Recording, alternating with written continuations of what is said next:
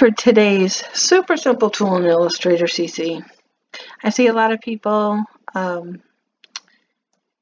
trying to get half a circle and there's other ways around it but the simplest way is just choose your ellipse tool hit shift if you want a perfect circle to drag it out and this particular one we're going to use a solid color because I'll show you another trick in a minute.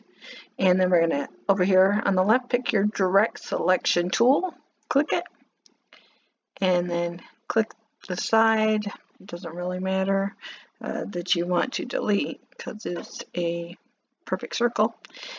And click that point and hit delete. That's as easy as it is.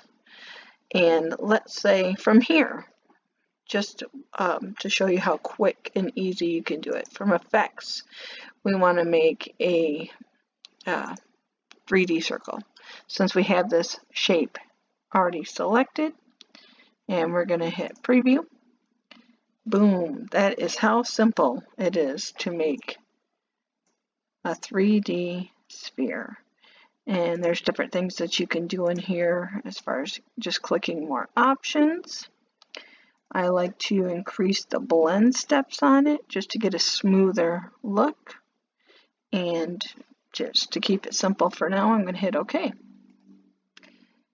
The only thing is, if you want to change anything after this, you're going to go up here to Object and Expand Appearance.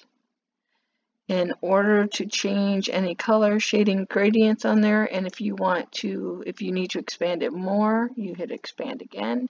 It can get a little tedious there as far as uh, breaks down to every little line.